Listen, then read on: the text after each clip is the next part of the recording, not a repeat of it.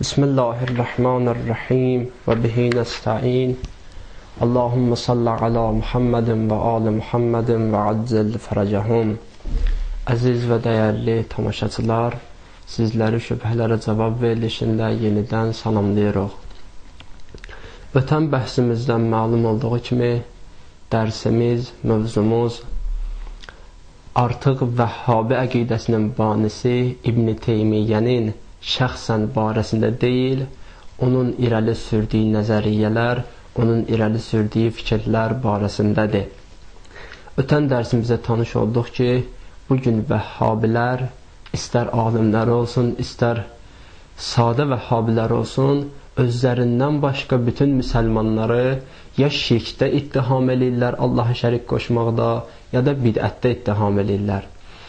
Və biz qeyd elədik ki, əgər biz istəsək vəhabilərin bu iki dənə dəyərsiz ittihamla cavab verək, gərək məsələni köklü şəkildə araşdıraq.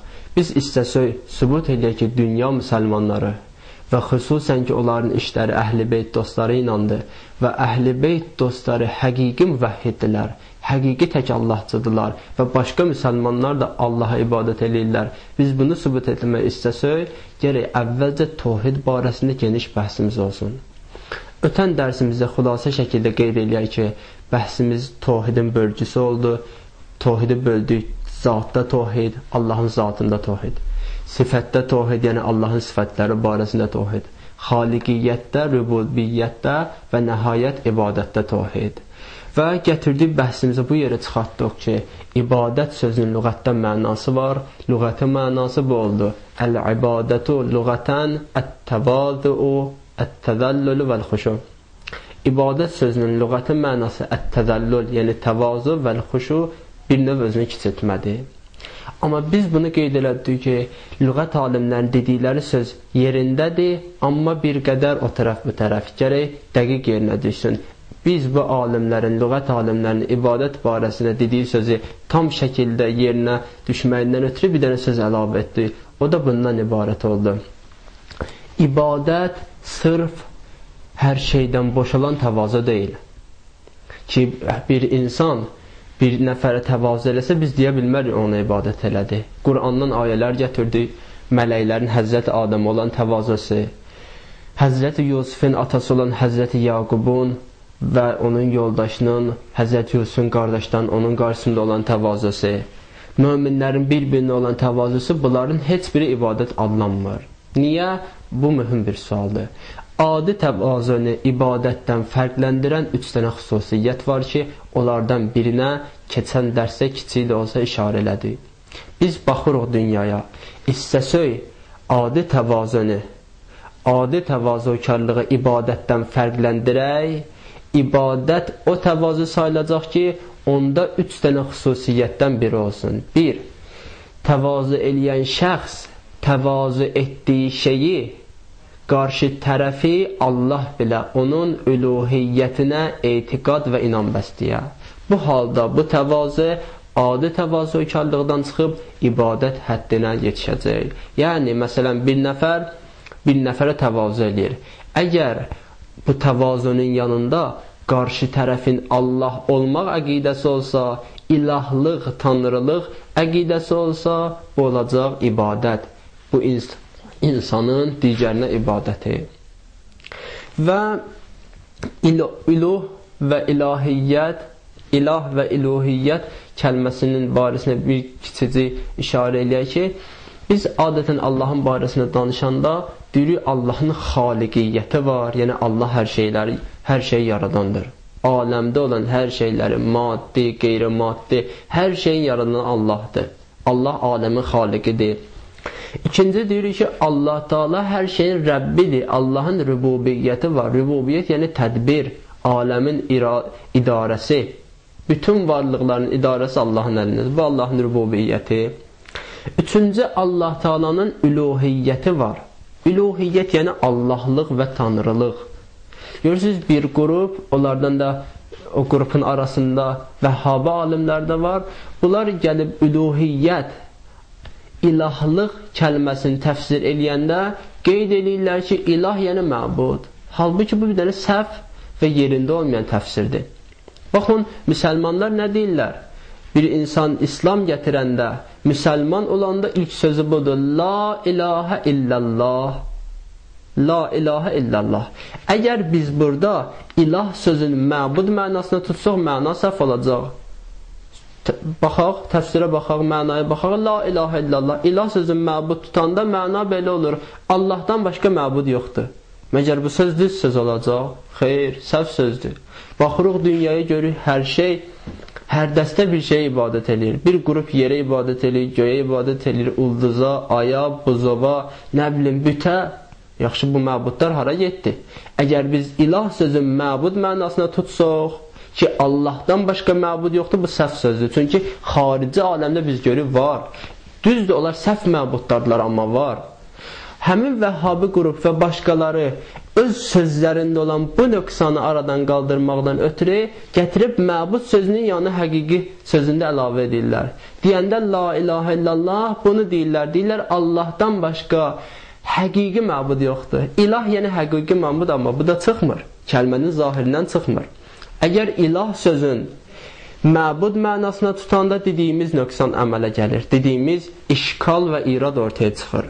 Əgər həqiqi sözün o məbud sözünün yanına əlavə etsə, yəni həqiqi məbuddursa, o da kəlmənin zahiri ilə və başa düşdüyümüz mənası ilə ziddət təşkil edir. Odur ki, ilah sözü nə məbud mənasındadır, nə də həqiqi məbud mənasındadır. İlah yəni Allahlıq və tanrılıq. İlohiyyət yəni Allahlıq və tanrılıq, ilah yəni Tanrı və Allah.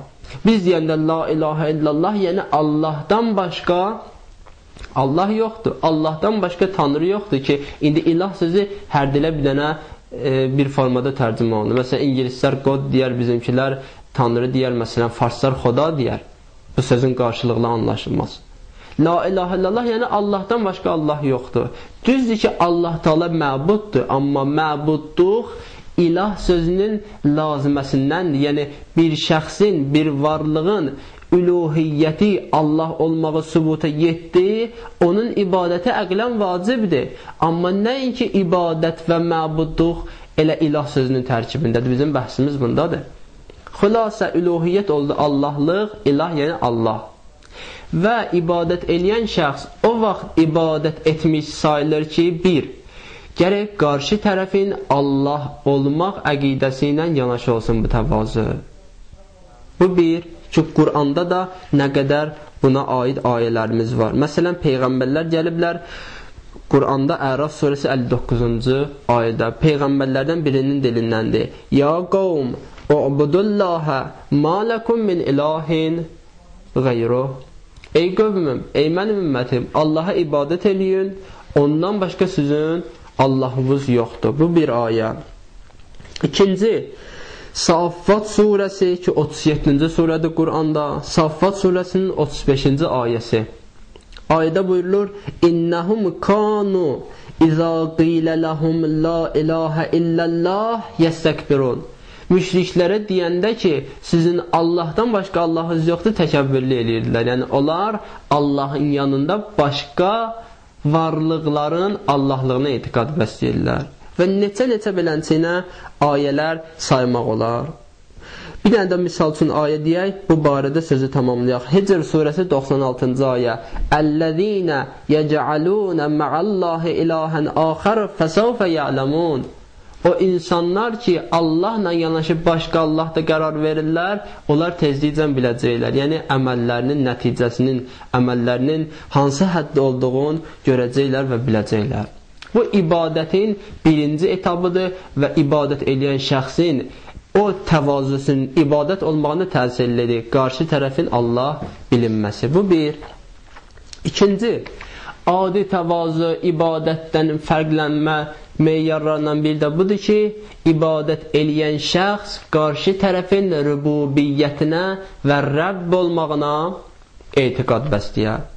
Peyğəmbərlər gəliblər, təbliğ məqamında Allahın sözün, risalətin cəmaata çatdıranda cəmaata müxtəlif ibarələrlə deyiblər. Bəzən deyiblər sizin Allahdan başqa Allahınız yoxdur. Bəzən deyiblər Allahdan başqa yaradığınız yoxdur. Bəzən də deyiblər Allahdan başqa sizin Rəbbiniz yoxdur. Ki, Qurana baxanda bu məsələ tam şəkildə aydın olur. Məsələn, Quranda Maidə surəsi 72-ci ayədə belə oxuyuruq. Və qaləl Məsihu ya bəni İsrail u'budullaha rabbi və rabbikum. U'budullaha rabbi və rabbakum. Həzrəti İsa əleyhissalam, Həzrəti Məsih əleyhissalam öz qövmünə, Bəni İsrail qövmünə belə deyirdi: "Ey qövm, Bəni İsrail, mənim və sizin Rəbbiniz olan Allaha ibadət eləyin." Burada da ibadət sözünün müqabilində Rəbb gəldi. Yəni ibadət bu təvazı o vaxt ibadət sayılar ki, insan qarşı tərəfi Rəbb ilə. Yaxud Ali İmran surəsində 51-ci ayədə belə oxuyuruq. İnnəllahə Rabbi və Rabbukum fa'buduhu haza sıratun müstəqim. Ki peyğəmbərlərin birinin dilindəndir. Buyurur, həqiqətən Allah Taala mənim və sizin Rəbbinizdir. Ona ibadət eləyin ki, doğru yol budur. Burada da görürük ki, Allahın barəsində Rəbb kəlməsi işlədilir. Fə'budu Rəbb, Rəbb fə'budu. İbadətlə Rəbb sözün yan yanaşı gətirilib. Yəni ibadətin ibadət sayılma şərtlərindən biri budur ki, insan qarşı tərəfi Rəbb bilə. Burada kiçik bir dənə sual yaranır, o da bundan ibarət ki, Rəbb yəni nə? Rəbb deyiləndə nə nəzərdə tutulur? Rəbb sözü ərəb dilində, ərəb lüğəti baxımından Mənası bu deməkdir ki, tədbir, bir şeyin idarəsi. Biz ki, gündəlik namazlarımızda deyirik, Elhamdülillahi Rabbil aləmin, həmd, sitayiş, gözəl təriflər aləmlərin Rəbbi olan Allah'a məxsusdur. Aləmlərin Rəbbi deyəndə biz bunu nəzərdə tuturuq ki, Allah Taala hər şeyin idarə edicisidir. Hər şeyin tədbiri Allahın əlindədir. Biz Allahın Rəbbiliyinə şəhadət verəndə bunu nəzərdə tuturuq. Ərəblər Rəbb deyəndə təkcə Allahın barəsini nəzərdə tutmazlar. Məsələn, bir evin sahibinə istəsələr onun sahibi olduğunu çatdıralar, ifadə edirlər, Rəbb kəlməsini işlədərlər. Məsələn, məşhur hadisə ki, fil hadisəsidir. Peyğəmbər dünyaya gələn ildə baş vermişdi fil ilində. Əbrəhə ki, dövrünün zalimlarından və tağutlarından, üsyankar insanlarından biri idi nəfsinə itaət nəticəsində o həddə çatdı ki, Allah evi Kəbəni dağıtmaq qərarına gəldi. Xülasə bəhs yəqin tamaşaçılar bilirlər. Əbrəhə filləri ilə gəldi Məkkəyə. Məkkəyə çatanda əvvəlcə Məkkə ətrafında olan sürülərdən, dəvə sürülərindən, az sürülərindən qarət elədilər ki, o qarətlərin arasında Peyğəmbərimizin babası Əbdülmütəllibin dəvələri də var idi. Həzrəti Əbdülmütəllib Həzrəti İbrahimin dinində idi, müvəhhid, tək Allahçı bir insan idi. Gəldi Əbrəhənin yanına, dedi, mən səndən istəyirəm ki, mənim dəvələrimi qaytarasan. Əbrəhə baxdı, dedi, mən səni böyük insan bilirdim, elə bilirdim məndən xahişə gəlmisən ki, Kəbəni dağıtmayım, sən dəvələrin hesabın üçün gəlmisən. Onda Həzrəti Əbdülmütəllib öz tarixi cümləsini dedi, dedi, Ənə Rabbul İbil, Mən dəvələrin sahibiyəm və lilbeyti Rabbun. Evin də öz sahibi var. Görür, bu cümlədə iki dənə Rəbb kəlməsi işlədilib. Biri Həzrəti Mütəllib, Əbdülmütəllib öz Rəbbiliyini bildirir, bir dəfə Allahın Rəbbiliyi. Allahın Rəbbiliyi ki, Allah Kəbənin Rəbbidir. Necə hər şeyin Rəbbidir, o cümlədən Kəbənin Rəbbidir. Öz Rəbbiliyi deyəndə bu məcazi mənadır. Rəbb yəni sahib. Buyurur, mən dəvələrin sahibiyəm, evin də sahibi var ki, lüğət baxımından Rəbbin də mənası sahibdir. Bir evin sahibinə Rəbb deyərlər, uşağın himayətçisinə, uşağın tərbiyəçisinə Rəbb deyərlər. Ona görə ki, onun tərbiyəsi və himayəsi həmin insanın əlindədir. Bu iki ki, xülasə bəhsimiz bunda oldu ki, ibadət o təvazödür ki, o təvazunun yanında qarşı tərəfi insan ya Allah bilə bir, ya Allah bilməyən Rəbb bilə, idarə edici bilə. Bunda da ibadət gerçəkləşəcək. Üçüncü ibadət o vaxt təvazı ibadət sayılacaq ki, insan qarşı tərəfin müstəqil surətdə Allah işlərinə malik olduğuna inana. Məsələn, Quran ayələrinə baxırıq, görürük ki, Allah Taala buyurur: "Və huvəllazi yuhyi və yumit və lehu ixtilaful leyli və nahar." Allah Teala buyurur, Allah yaradır, Allah öldürür. Gecənin gündüzün dəyişməsi Allahın əlindədir, Allaha məxsusdur. Görür, Allah Teala öz işlərin özünə məxsus bilir. Buyurur ki, bu işlər yalnız Allahın əlindədir. Ya başqa ayəyə baxırıq, görürük ki, hətta məsələn Ən'am surəsi 61-ci ayədə Allah Taala buyurur: "Hətta izə caa ahadakumul maut təvəffəthu rusuluna." İnsanlardan birinin əcəli çatanda bizim elçilərimiz onun canını alar. Can almaq əvvəlki ayədə oxuduq Möminin surəsi 80-cı ayədə. Allah buyurur: "Huvəllazi yuhyi və yumit." Yaradan da öldürən də Allahdır. Bir ayda Allah yaratmağı, öldürməyi özünə nisbət verir. Başqa bir ayda gətirir. Ənam surəsində öldürməyi, can almağı nisbət verir ölüm mələklərinə. Bu iki dənə ayə arasında cəm eləmək istəsək, qarşılıqlı əlaqə yaratmaq istəsək, bu nəticə ələ gəlir ki, aləmdə Allaha məxsus işlər müstəqil şəkildə Allahın əlindədir. Allaha məxsus olan işlər qeyri-müstəqil şəkildə Allahın izni ilə bəzi insanlara verilə bilər, bəzi məxluqlara verə bilər.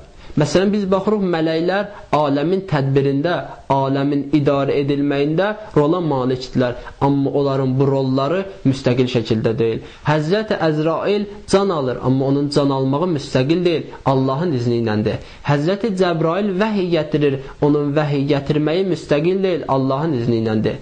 Məsələn, biz baxırıq, peyğəmbərlər, imamlar, Allah dostları şəfaət, yəni bir insanın barəsində Allahın yanında bağışlanmaq istəmək belə bir məqama maliklər, amma onların şəfaət məqamı müstəqil deyil. Birbaşa yalnız və yalnız Allahın əlindədir. Odur ki, biz Qurana baxanda görürük ki, Quranda Allaha məxsus işlərin Allahın əlində olmağına daha çox işarələr, işarələr olunub və bu barədə bu sözün üzərində çox dayanılır.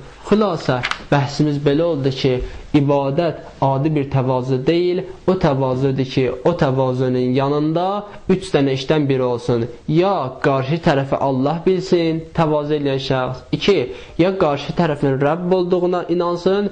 Üç, yaxud da qarşı tərəfin Allaha məxsus olan işlərdə müstəqilliyinə inansın. Bu şiyə məzhəbinin, əhl-i beyt məzhəbinin yanında olan ibadətin meyarıdır. Amma vəhhabi alimlərinin, vəhhabi dini şəxsiyyətlərinin ibadət, təvhid, şirk barədə meyarları var. Onların özlərinə məxsus meyarları var. İnşallah qalsın gələn dəfələrə, gələn dəfədən etibarən bəhsimiz bu barədə olacaq. Vəssalamu aleykum və rəhmətullahi və bərəkatuhu.